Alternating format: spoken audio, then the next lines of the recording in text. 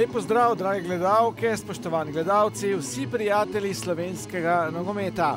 Dobrodošli na Planet 2, kjer danes odpiramo nogometno pomlad 2021. Do uradnega štarta spomladanskega dela Prve lige Telekom Slovenije bomo morali sicer še malo potrpeti, tekme 20. kroga so namreč na sporedu v sredo in četrtek in bi bili vsaj izenačeni z domžalami.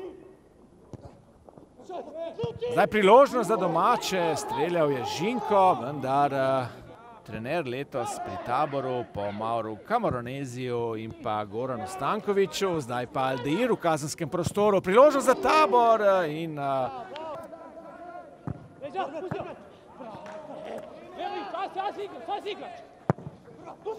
Zdaj priložnost za Tučiča, lepa podaja z leve strani, Milan Tučič je streljal z glavo pred tem nadaljevanjem prvenstva. Naj še enkrat ponovim, Igor Božič danes praznuje 44. rojstni dan, priložnost za Tučiča in gol!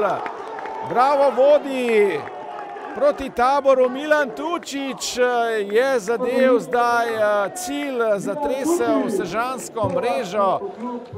Kakšna vrnitev, prejle sem govoril, v letu in pol v Belgiji na uradni tekmi ni zadev mreže. Zdaj je povratna žoga do Grinca in Tučič v priložnosti in gol!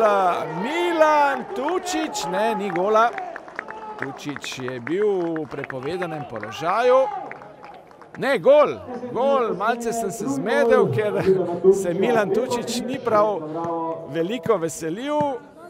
In Bravo vodi z dve proti nič. Nekaj nejasnosti v prvem trenutku. Ali je bil prepovedan položaj ali ne, izvrstna, ni govora o ofsajdu, izvrstna podaja Grinca.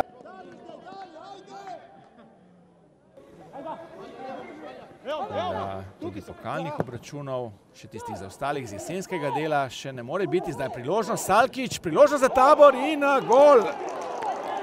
Kristos Rova, strelec. Tabor je znižal vodstvo Brava, dve proti ena. Zdaj strelec Kristos Rovas.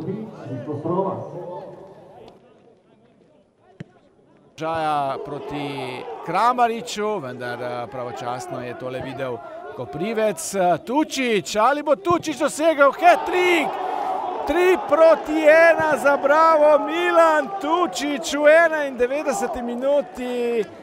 S tretjim golom na tekmi je razrešil vse dvome, kdo bo danes zmagovalec.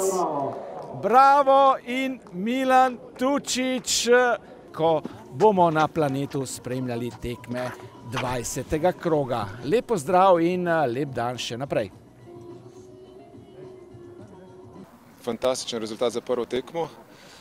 Imeli smo nekaj težav v prvem polčasu, ker nam njihova postavitev ni dovoljevala, da bi, da bi, da bi z našo neko osnovno postavitvijo, da bi dovolj dobro pokrili njihov iznos žoge in iz tega se je dogajalo, da smo, kljub temu, da smo bili kompaktni, smo prelahko dobivali dolge žoge za hrbet naši obrambi in potem smo trpeli, ko smo to žogo lovili, ko smo morali priti prej na odbito žogo.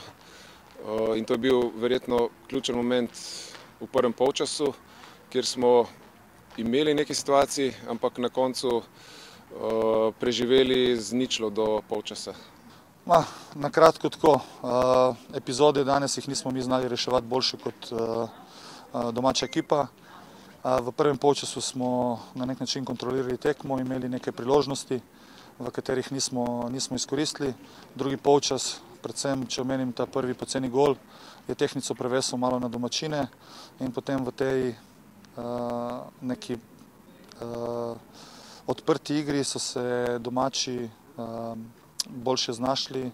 Mi smo poskušali priključek pri dva ena uloviti priključek, ampak na koncu s preveč odprto igro smo dobili še tretji zadetek in je bila tekma konec.